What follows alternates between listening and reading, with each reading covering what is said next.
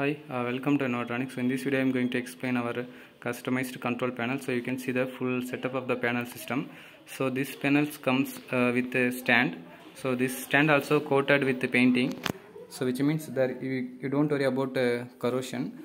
So you can now I'm going to open the inside of the now I'm going to show the inside of the panel. So this is our customized panel, which means we can control our load by using this panel so this actually this is one of the timer based panel. You can uh, see the timer. So this is the timer. So you can fix the time. So which time you are going to load uh, which time your load going to on which time which time the load sh good, should off. So you can fix by using your customized time. So actually i set it for 16 5 on time and then 16 uh, 7 is off time which means this load will turn on up to 2 minutes. Now i'm going to power on the system. I'm going to turn on the breaker. Okay you can see the green light. So green light is turned on now which means this is the auto mode. Okay you can select auto manual switch also. Okay so if a uh, green light glowing now auto mode is on which means uh, timer will automatically turn on the load. So this is our loader i connected for one day one incandescent lamp.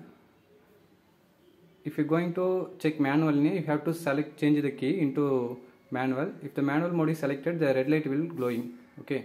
So now you can see that. Okay now load is turned on. You can see the time also.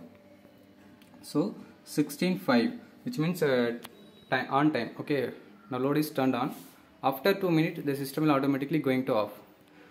So you can use the timer for your custom uh, you can your purpose. Like you can control the motor like forward backward logic. You can control your street light high mast light so this kind of application you can use it.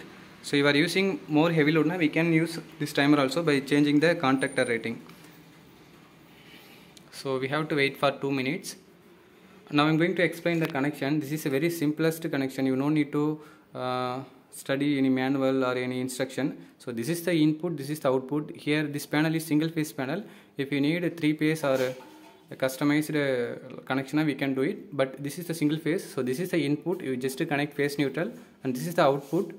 Phase neutral will come. Okay you just connect the load here. So you have to connect input power here. Okay so this system also having some circuit breaker also. So circuit breaker in the sense if any short circuit occurring so this breaker will automatically uh, identifying then the isolate the load. So this uh, individual breaker for timer only. Okay so this timer also indication indicating the load is turned on. This led will denoting the load is turned on. Okay? Within uh, one minute uh, this uh, system automatically going to off. You can see that. Now time is 16 6 after 16 7 this uh, load automatically going to off. You can see that.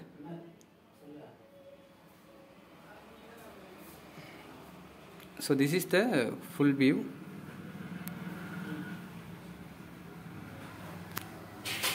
uh, you can set up to 16 cycle also. This timer also having lot of features. You can set a individual date individual cycle. So lot of features comes with this timer. Okay now you can see that the load is turned off because the time is 16 7 okay so which means load is turned off. Okay now i'm going to now show the manual mode. So this is the selection switch for auto manual. This is now it, it is auto. So green light is glowing. Now i'm going to change the manual so manual the red light will turn on. So load also turned on. Okay. So this is the complete uh, panel uh, image. So if you have any customized requirement or customized uh, options right kindly contact our office number. We can do all kind of panels. So thank you for watching